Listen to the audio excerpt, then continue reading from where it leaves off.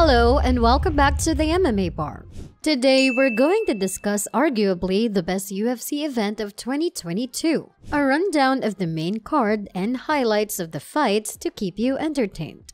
UFC 275, also known as The War in Singapore, took place on June 12, 2022 at the Singapore Indoor Stadium in Kallang, Singapore. UFC 275 was a night full of shocks, surprises, and most importantly, action. Headlining this event was a UFC light heavyweight championship bout between current champion Glover Teixeira and former Rizin light heavyweight champion Jiri Prochazka. The main event saw 42-year-old light heavyweight champion Glover Teixeira looking to continue his late career go against modern-day samurai Jiri Prochazka. Youth versus experience was the obvious storyline, and the fight looked to be a good one. In the co-main event was a women's flyweight championship bout between current champion Valentina Shevchenko and Brazil's Taila Santos.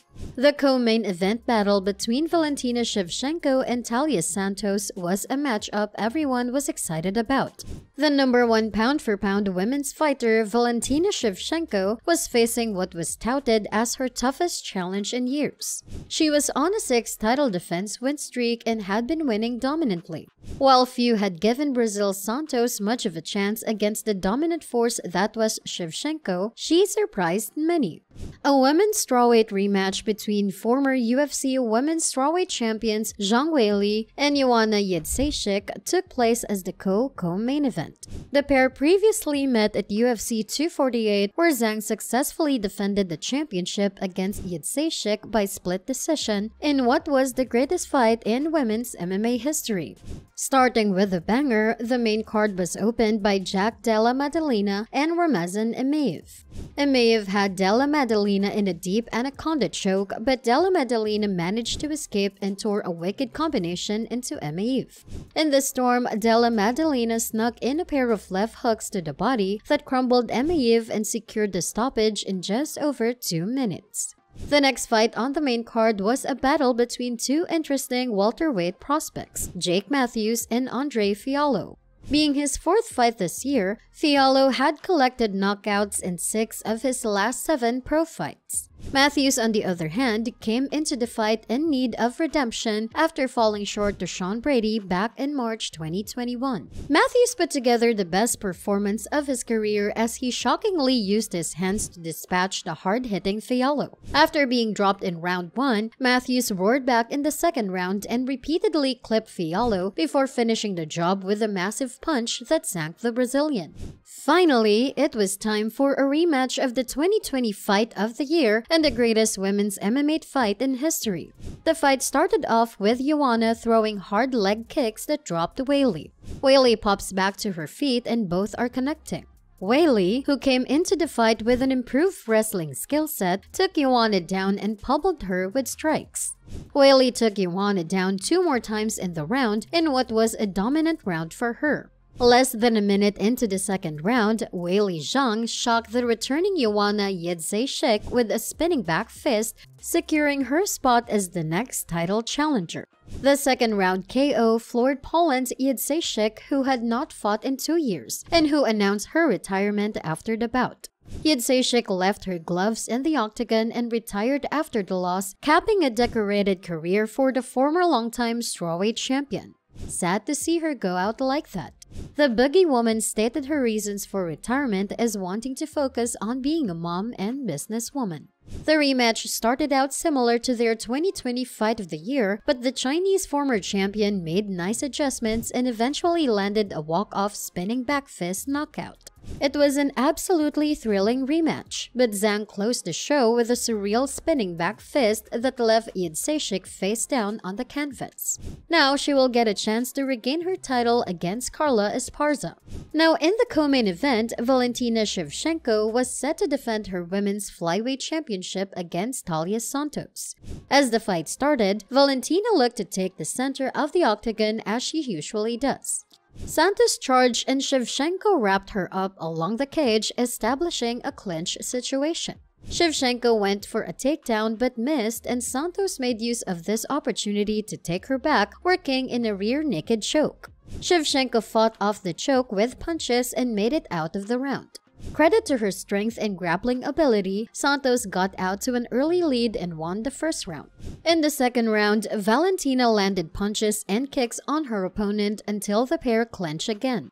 Santos, now confident in her ground game, looked for a takedown and got it rather easily.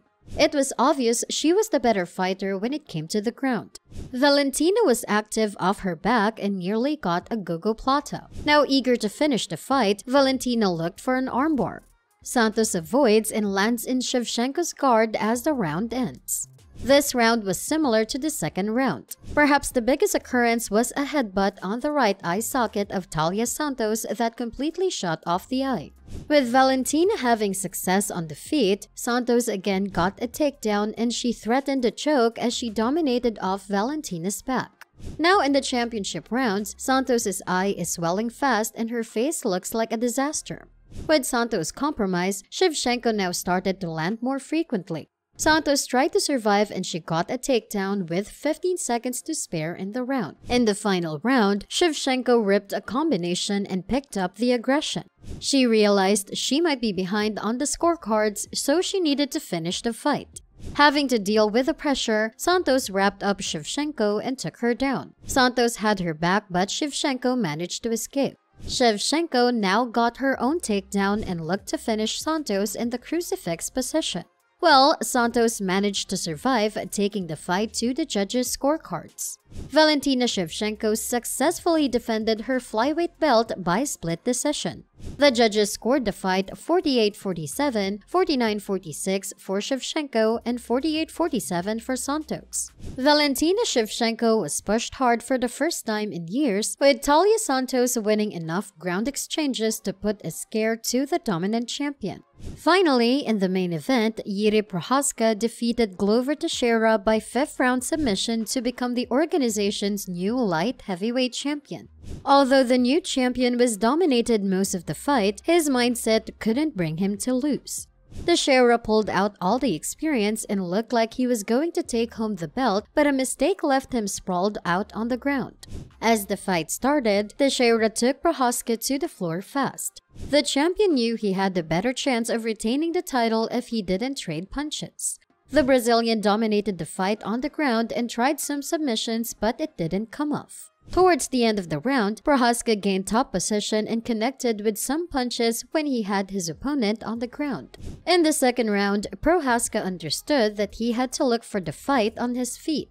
He avoided in every way going to the ground. Then the challenger turned on. He started connecting kicks, knees, and left and right punches. The champion was dominated as he didn't know how to escape from such punishment. Prochazka then made a very serious mistake he fell to the floor. And Teixeira went like a wounded beast on his rival. He punished him with a ground and pound, and with an elbow, he opened the wound in the face of the challenger. At the end of the round, Jiri ended exhausted and had a terrible cut above the left eyebrow. In the third round, things went Prochazka's way. He was able to make the fight develop standing most of the time. With a knee, he hurt the Teixeira badly who fell to the canvas and there he began to receive all kinds of blows. Teixeira ended the round with a cut on the bridge of his nose. The champion came out with a lot of determination in the fourth round. If Prochazka wanted an exchange of punches, he would have an exchange of punches. The Brazilian brought out all his experience, combined all kinds of punches, and made his power felt. Teixeira came out again with everything in the fifth round. A right hand put Prochazka in bad conditions. The Brazilian smelled blood, went for a guillotine, but did not tighten the arm well and the prey went away. The fight was leaning more toward Teixeira, but a mistake cost dearly. The champion took the challenger to the canvas but did not defend the position well.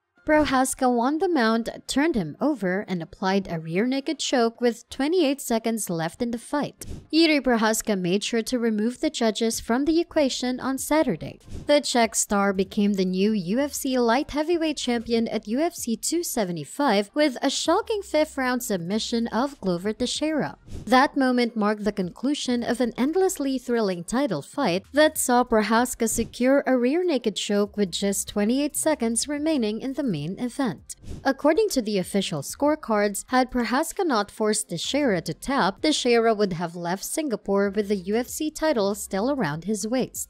Teixeira was ahead on two of the three cards and by coming close to finishing Prochazka, he had the fifth round in the bag. As is usually said, in MMA, anything can happen. UFC 275 is in the books and it was arguably the best and wildest event the UFC has put on this year. Without any doubt, the main event will go down as the greatest fight in UFC light heavyweight history, even surpassing the first fight between Jon Jones and Alexander Gustafsson. Thank you for watching this video. That's all for now. Don't forget to like, subscribe, and hit that bell.